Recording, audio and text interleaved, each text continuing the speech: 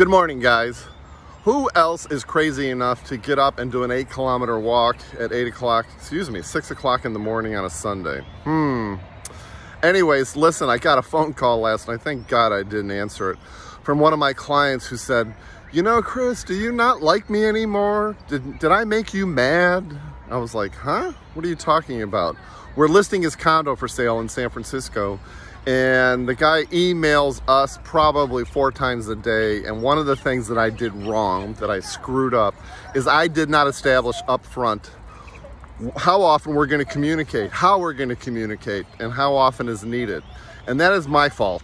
And that's one of the things we should always do with all of our real estate clients.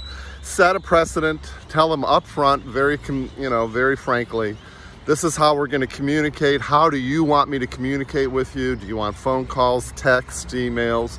And I never had that conversation with him. So he sends me a shitagram voicemail last night at midnight, believe it or not, telling me that um, we haven't talked in a day and that he was wondering if I was mad at him and blah, blah, blah, which I'm not, of course.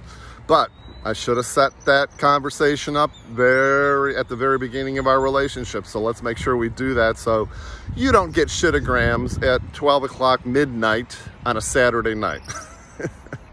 Anyways, guys, I hope that you have a brilliant Sunday. I hope that uh, go out, do your eight kilometer walk, have a an amazing Sunday.